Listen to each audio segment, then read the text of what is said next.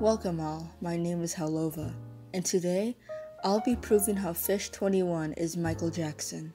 First, I like to start that I have 13 degrees in psychology, 14 degrees in chemistry, 21 degrees in biology, 7 degrees in environmental science, 10 degrees in neuroscience, and 15 degrees in theoretical physics. That shows that I am a true professional and everything I will, I'm about to say is a fact. Before I could start my theory, I'd like to add some context. A couple months back, Fish21 and I made videos on a person named Jerome, an alter ego or other soul that our friend Donovan had. After intense theorizing, Jerome was actually a veteran from the Vietnam War. Then, after some of my own theorizing, I also found out that Fish21 had another soul named Florence Hayes. You see, Florence Hayes was also a veteran in the Vietnam War that was friends with Jerome. Now, in the year that the Vietnam War ended, which was in 1975, I'll Come Home to You, a song made by Michael Jackson, was made in 1975. What does this mean exactly? A lot of the soldiers in the Vietnam War wanted to come back home to see their family, wives, and kids. Florence Hayes, a veteran from the Vietnam War, has her soul inside of Fish 21 and also has a mentality after being in war for so long. According to a website that wrote about MJ's diet, it said that he liked to eat Chinese food.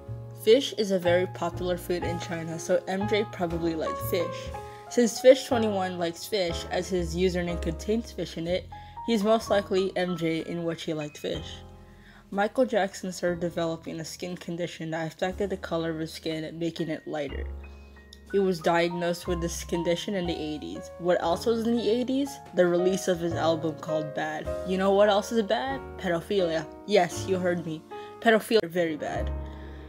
In my diss track called British People to Fish 21, my first line was long hair, looking like a pedophile. Now, it wasn't by choice on how I came up with that line.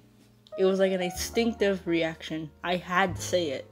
A professional like me doesn't write lines with no meaning at all. Of course, Fish 21 can't be a pedophile since he's known to be a minor. But what if I told you if he wasn't? In 2001, MJ released a song called The Lost Children. Now, if you remove those two zeros in the middle of 2001, it turns to 21. 21 is a part of Fish 21's name. The song of the lost children hints at MJ's pedophilia, and if you remove the two zeros in 2001, it turns to 21, which is a part of Fish 21's username. Also, you can't spell Michael Jackson without using the letters from Fish. As an expert biologist, Mexicans and Filipinos, which are the ethnicities of Fish 21, are known to have tanner skin color.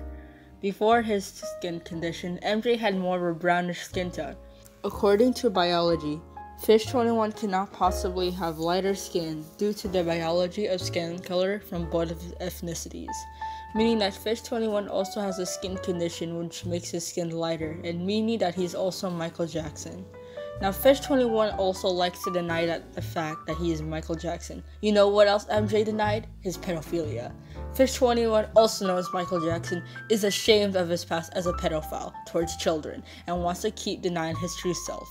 I can find this as a perfectly reasonable reason to deny your identity as a hit pop star as an expert psychologist. So, yes, Fish 21 is Michael Jackson, and this video essay containing my evidence and analysis proves it.